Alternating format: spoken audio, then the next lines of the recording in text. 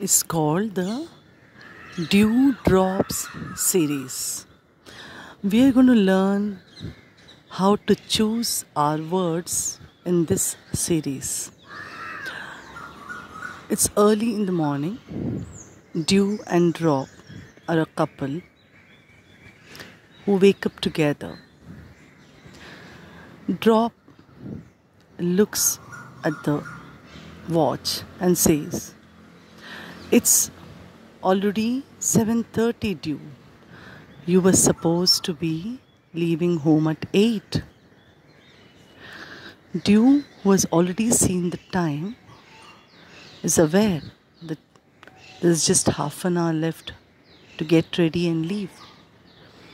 Quietly, within that half an hour, she gets ready and leaves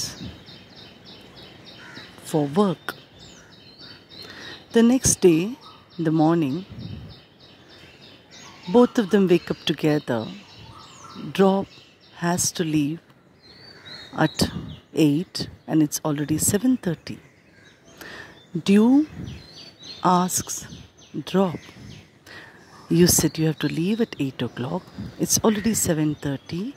Can I make a cup of tea for you while you get ready to go to work?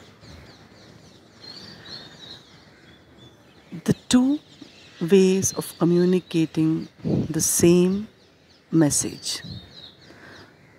One has to choose how to communicate, in what tone to communicate, and the communication that results in a vibration of relaxation. If one can practice this, then life becomes celebration.